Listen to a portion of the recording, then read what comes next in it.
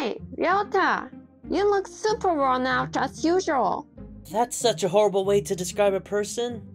My childhood friend, Kaori Takamatsu, was drinking next to me while I had my shoulders drooped. She had always been beautiful, and she was living a happy life, unlike me, an introvert since birth. She spends time with me only because I'm her childhood friend. Or maybe she's just here to make fun of me. But she was the only one who would hang out with me like this. So I valued her so much. Ryota, how's the work? It's okay. Did you get a girlfriend? Do you think I can make one? Haha, good to know you haven't changed.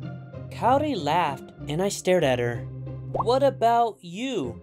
Any boyfriend? Hmm, well, I'm doing alright in that department. Kaori smiled. That moment, I decided not to ask her about this anymore. I knew this was a losing game for me. She's probably having fun with multiple guys. I wonder what it's like to be as popular as you. Oh, I take that as a compliment. I guess you're used to taking sarcasms too. She didn't even flinch at what I said. I was slightly jealous of her. The thing said, After that, we kept on having small talks. She always makes fun of me, but I enjoy being with her. I wondered about the future, where Kaori was getting married to someone else. Wait, so if Kaori gets married, I don't think I have any other friends to hang out with. That's sad. That was why I seriously started to think about my own future marriage. Weeks later, the president called me to his office. Now, what can I do for you today?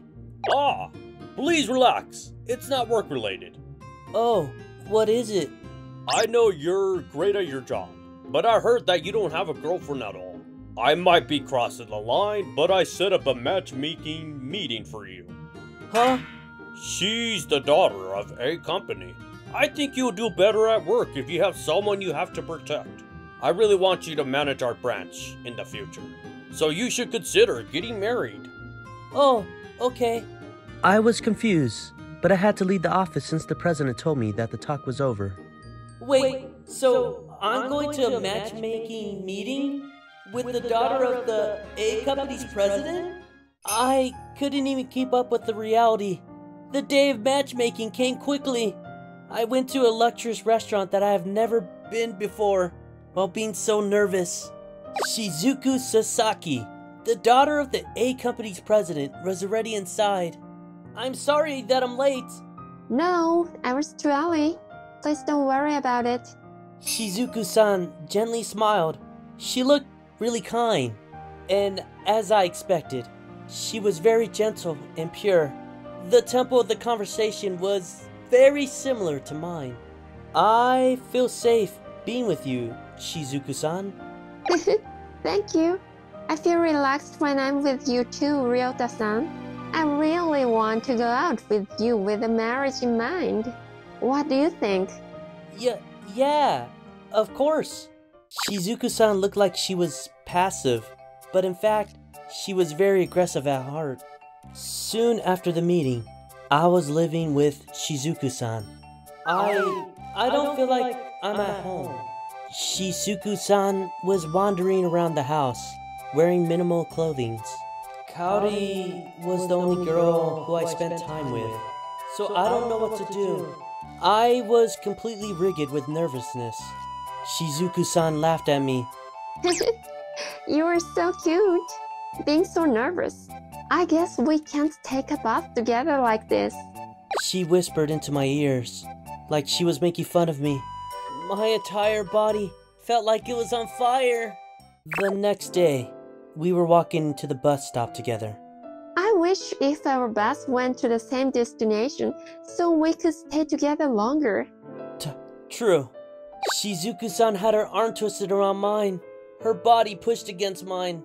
I was embarrassed because we totally looked like a newly dating couple. That moment, Ryota, Kaori? I saw Kaori walking towards us from the crowd. huh? What the hell is this?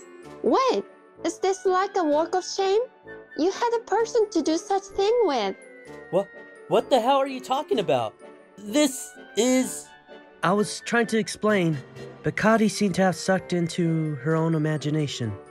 A beautiful girl like her can't be in a relationship with Ryota. So, Ryota paid her? Ryota? How much did you pay for her? If you wanted to spend the night with someone, you should tell me. Hey! Wait, stop! Huh? What, did she just say? Is she saying that she was willing to spend a night with me? We both stared into each other. Our faces turned red at the same time. Hey, Ryota-san, who is this? Oh, oh, sorry. I was pulled back to the reality with Shizuku-san's voice, and I introduced her to Kaori. This is Kaori, my childhood friend. Kaori, this is my fiance, Shizuku-san. She is the daughter of A company's president, and I got to meet her because of my president. Huh? The fiance? Kaori was staring at Shizuku-san in disbelief. She stopped panicking, but she was dead silent this time, to the point it scared me. Fiance? A beauty like her? And she's the president's daughter? I, I don't have any chance against her. Huh? Hey, Kaori! Kaori looked like she was on the verge of tears, and she immediately ran away. What, the, hell is wrong with her? She didn't even greet Shizuku-san. She's so rude. I thought so for a second, but Kaori's sad face was stuck inside my brain. Why did she make such a face? Why? Since then, I couldn't stop thinking about Kaori for some reason. I kept thinking about her, even when I was at home. San? Ryota-san? Ah, sorry, what was it? I looked up in a hurry to see Shizuku-san looking into my face, looking worried. You seem to space out a lot these days. Are you okay? Yeah, yeah, maybe it's because my work is really busy recently. I'm gonna go to sleep now. I quickly ran into the bedroom. I was wondering why I tried to run away from Shizuku-san. Why do I feel this way? Why do I keep thinking about Kaori more than Shizuku-san? That moment, I realized that I was subconsciously comparing Kaori to Shizuku-san. I was never nervous like this when I was with Kaori. I always had fun every day. I was always happy. I really want to see Kaori smile. That was when I realized my true feelings for Kaori. I like Kaori's smile. I always like Kaori. I acknowledged my feelings as my mind was getting clear. The next day, I told everything to Shizuku-san. I asked her to call the engagement off. I'm sorry for being so selfish. I see. Shizuku-san tilted her brows in sadness as I apologized to her. Kaori-san is your childhood friend, right? Ah, I wish I was your childhood friend. But I guess I can't do anything about it. Kaori-san has spent more time with you than me. I'll give you up this time. Thank you. I'm really sorry. I bowed again, and Shizuku-san smiled at me, saying I shouldn't worry too much. I went to work and explained everything to the president, too. Are you serious? You dumped that perfect girl? I can't leave our branch to you anymore. Yes, I'm sorry, but I cannot lie to myself. And Kaori, the girl who I love, has always been on my side. Even if I was being all sulky, she was always with me, supporting with me. I hurt her because it took so long for me to realize this. But I want to support her instead from now on. That's my wish. Yana Gita-kun. The president was staring at me in awe, and I realized what I had done. I. I'm sorry. I shouldn't be raising my voice like that. No, your passion got me. You are a guy who could choose what you truly value over money or authority. Yanagita-kun, you are a great employee who I can trust. Please keep working hard for our company. Yeah, yes, sir. The president seemed to have understood me. Now, I have to tell Kaori too. I could imagine what was going to happen, but I want to tell Kaori about my feelings.